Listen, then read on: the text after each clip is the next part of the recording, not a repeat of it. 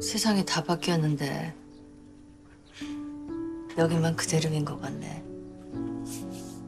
무슨 일로 왔어? 나 홍련이 죽이고 싶었어. 나한테 중요한 거, 소중한 거, 걔가 다 망가뜨렸으니까. 정말 좀 죽었으면 좋겠다.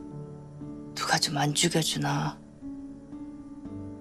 그런 생각도 했었어. 솔직히 말해서 난 홍란이가 죽은 거 하나도 안타깝지가 않았어. 해를 씨. 그래도 나 홍란이 안 죽였어. 그래.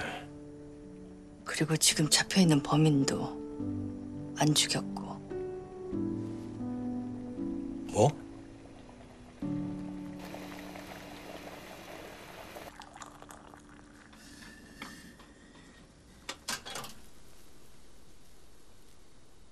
그래서 어쩔 생각이야? 진짜 범인 찾을 거야. 다 밝혀내는 한이 있더라도 찾아야겠어. 당신도 다칠 거야. 아무리 고원경이나 돌핀한테 속았다고는 하지만 그런 거래가 불법이었던 것도 사실이니까. 강백이는 아니라고. 내가 집으로 돌려보냈다고. 그 말 한마디면은 강백이가 범인으로 몰릴 일은 없었을 텐데.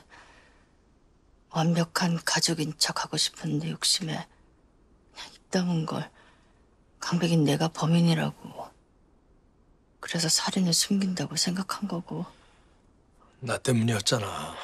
당신은 바람을 핀 거고 난 강백이 위한답시고 어떻게 보면 가짜 범인까지 만든 셈이지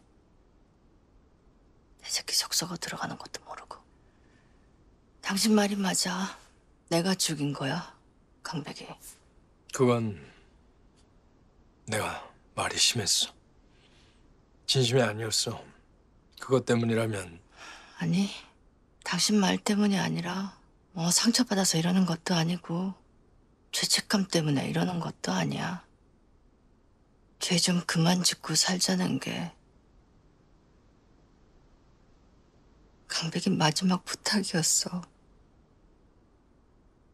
그러려면 속죄부터 해야겠지. 그래. 그럼 당신이 봐야 할 게 있어.